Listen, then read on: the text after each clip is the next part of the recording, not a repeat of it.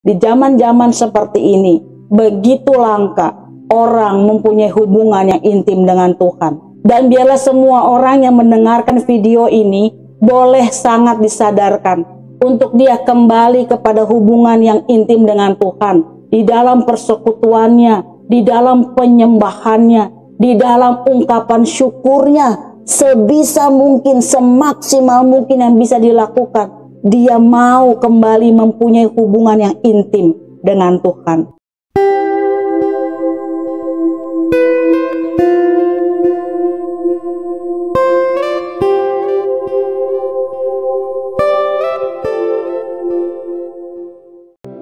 Selamat pagi sahabat-sahabat yang baik. Kita ketemu lagi dalam program Morning Devotion hari ini. Jangan lupa, hari baru pasti ada berkat baru. Dan saya minta dan sungguh-sungguh minta Bapak, Ibu, dan sahabat semua percaya bahwa Tuhan selalu menyiapkan hari baru, berkat baru buat kita semua. Sahabat-sahabat yang baik, firman Tuhan kita hari ini dari Roma 8 ayat 32. Demikian firman Tuhan. Ia yang tidak menyayangkan anaknya sendiri, tetapi yang menyerahkannya bagi kita semua. Bagaimanakah mungkin ia tidak mengaruniakan segala sesuatu kepada kita bersama-sama dengan Dia. Sahabat-sahabat yang baik, Allah memberikan janji-janji yang luar biasa mengenai doa-doa kita. Allah meyakinkan kita kalau kita berdoa dan kita meminta apa saja yang seturut dengan kehendaknya, Dia pasti kabulkan. Kenapa begitu?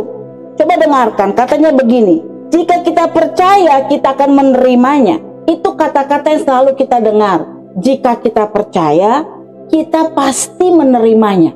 Apakah kita sadar bahwa Allah mendorong kita untuk mengetuk, mencari, meminta kepada Dia? Allah selalu mendorong kita dengan iman. Tapi kamu tidak sungguh-sungguh percaya, bahwa Allah akan merespon dengan nyata segala permintaanmu akan hadiratnya. Tentu saja kita tahu bahwa Allah itu maha hadir. Allah itu hidup.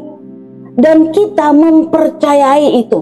Tetapi apakah kita sadar? Kita benar-benar percaya bahwa Allah hadir secara nyata. Bahwa Allah hadir secara jelas. Benar-benar ada di sisi kita. Apakah kita percaya? Ini yang harus kita tanyakan. Ini harus kita renungi. Karena sesungguhnya kenyataannya itu belum tentu. Kita tahu Allah Maha Hadir, tetapi apakah hadir secara nyata, hadir secara jelas, benar-benar ada di sisi kita? Itu yang belum kita sungguh-sungguh percaya. Kita jauh merasa lebih nyaman hanya dengan teori teologi bahwa dia memang maha hadir, tapi kita belum merasakannya dalam kehidupan sehari-hari bahwa pengalaman hidup kita bersama Tuhan menjadi sesuatu yang hidup di dalam diri kita. Kita cenderung untuk menerima kebenaran tanpa ada sentuhan Allah di situ. Kita tidak ingin meminta terlampau banyak. Sahabat yang baik, kita kadang lupa bahwa tidak ada hal yang tanda kutip terlalu banyak yang diberikan oleh Allah Allah telah memberikan kita hadiah terbesar yang Allah bisa berikan dan ingat baik segala permintaan kita sungguh tidak ada artinya, tidak ada bandingnya bila dibandingkan dengan hadiah yang terbesar yang pernah Tuhan berikan kepada kita. Apa hadiah yang terbesar itu? Hadiah yang terbesar adalah pada saat dia memberikan anaknya kepada kita. Untuk apa? Untuk mengejar keintiman dengan kita. Saya ulangi sekali lagi, dia mengorbankan anaknya sendiri untuk mengejar keintiman dengan kita. Pertanyaannya adalah, mengapa Allah melakukan sebuah pengorbanan besar lalu menolak hubungannya yang Allah maksudkan lewat pengorbanannya tadi? Sahabat yang baik, ketika kita berdoa untuk meminta ada hubungan yang lebih dekat dengan Allah, kita tidak perlu melekatkan perkataan begini. Jika itu menjadi kehendakmu, pada saat kita berdoa, di akhir doa itu kita katakan, Ya Tuhan jika itu menjadi kehendakmu, gak perlu kata-kata itu. Kenapa? Ya karena apa yang kita minta tadi, mempunyai hubungan yang intim dengan Tuhan adalah kehendaknya.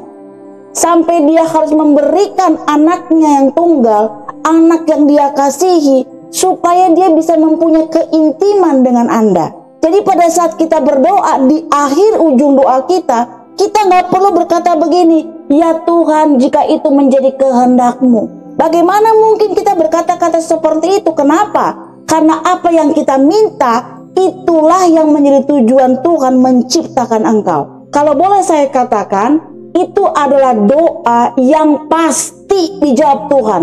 Kenapa pasti? Karena memang itu kehendak Tuhan. Sahabat yang baik, kamu dilahirkan untuk meminta hal-hal seperti itu.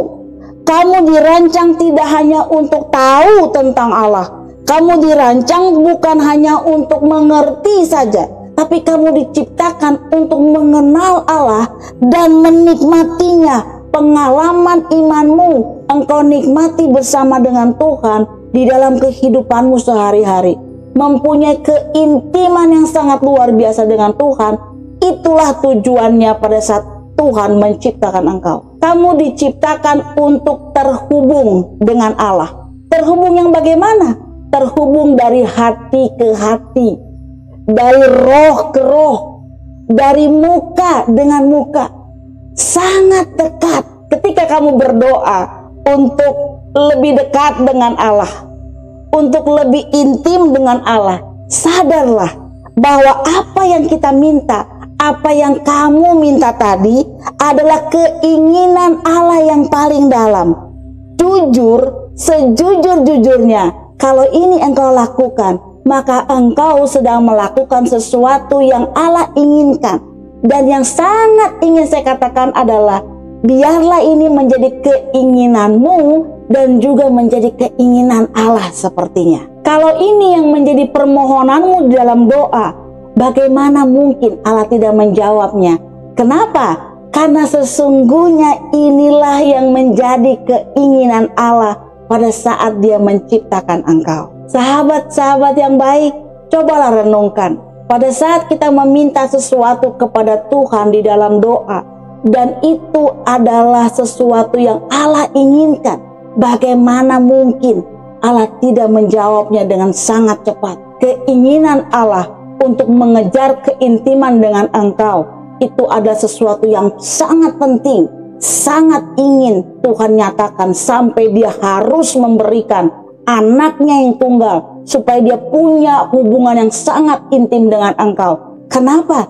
Karena dia rindu di mana dia ada, engkau pun ada bersama dengan dia. Sahabat yang baik, saya rindu sekali berdoa untuk saudara. Di zaman-zaman seperti ini, begitu langka orang mempunyai hubungan yang intim dengan Tuhan. Dan biarlah semua orang yang mendengarkan video ini boleh sangat disadarkan untuk dia kembali kepada hubungan yang intim dengan Tuhan di dalam persekutuannya, di dalam penyembahannya, di dalam ungkapan syukurnya sebisa mungkin semaksimal mungkin yang bisa dilakukan. Dia mau kembali mempunyai hubungan yang intim dengan Tuhan. Dan buat kamu yang ingin berdoa dan ingin didoakan, mari angkat tanganmu dan letakkan tangan kirimu di dada. Saya rindu berdoa untuk kita semua. Mari kita berdoa. Bapa Sorgawi, kami tahu bahwa pada saat kami meminta untuk lebih dekat dengan Engkau, ini adalah permintaan yang sangat berani. Siapakah kami Tuhan sehingga Engkau memperhatikan doa-doa kami? Siapakah kami Tuhan? Bapa yang kami kenal di dalam nama Tuhan Yesus Kristus. Inilah doa kami. Kami ingin merasakan kedekatan itu Tuhan. Merasakan hadiratmu Bapa. Mengetahui tanpa ragu bahwa kami berada dalam pelukan Engkau. Sentuhlah kami dengan cara yang memungkinkan kami merasa bahwa kami sudah terhubung dengan Engkau. Inilah doa kami Tuhan yang kami bawa di dalam nama Tuhan Yesus Kristus yang sangat baik itu, yang sangat hebat buat kami. Inilah doa kami ya Tuhan. Sentuhlah setiap orang yang mendengarkan video ini, yang mengangkat tangannya, yang rindu dipulihkan, dan punya hubungan yang sangat intim dengan Engkau.